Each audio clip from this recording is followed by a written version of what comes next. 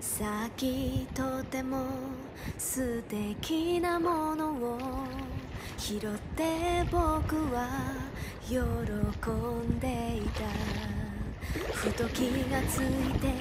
横に目をやると誰かが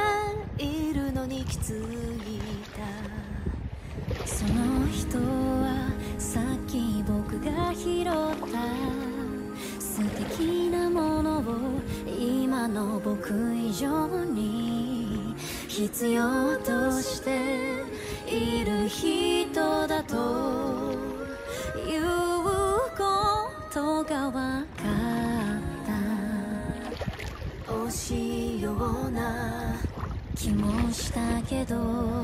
僕はそれをあげることにした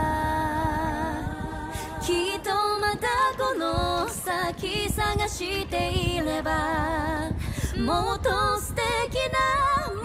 のが見つかるだろう。その人は何度もありがとうと嬉しそうに僕に笑ってくれた。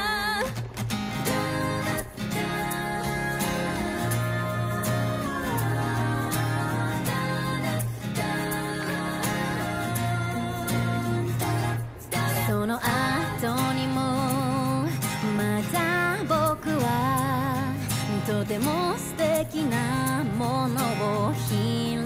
たふと気がついて横に目をやるとまた誰かがいるのに気づいた。その人もさっき僕が拾った。素敵なものを今の僕以上に。必要として